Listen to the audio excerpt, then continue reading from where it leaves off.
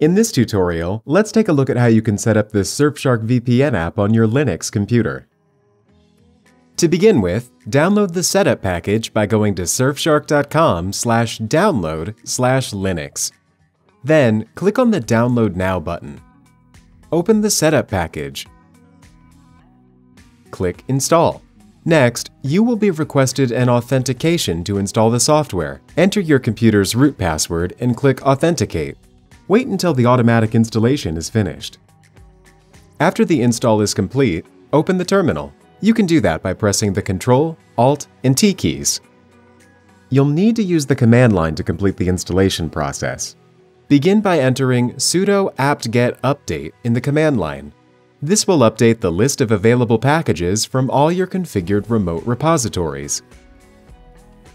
Afterwards, you can install Surfshark VPN by entering sudo apt-get install Surfshark VPN on the command line. To run Surfshark VPN, type in sudo Surfshark VPN. Once you've entered your registered email address and password, press Enter and you will be able to start using Surfshark VPN. To manually choose your VPN server, press Enter. Now you will see a full list of Surfshark locations. To select a location, type the number next to it into the terminal and press Enter. For example, type in 95 to connect to a server in Atlanta. Since Surfshark for Linux uses OpenVPN, you can choose between two transport protocols, UDP and TCP. We recommend choosing UDP protocol for better speeds. Continue by pressing Enter. Success! Now you're connected. You can see the connection status and your new IP.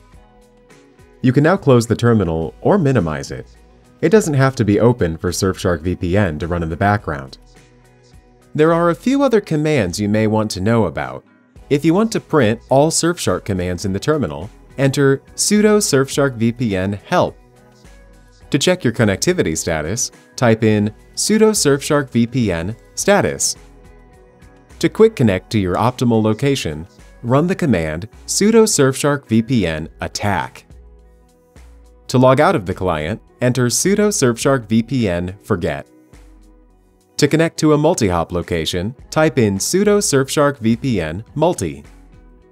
If you'd like to uninstall Surfshark, enter sudo apt-get remove Surfshark VPN.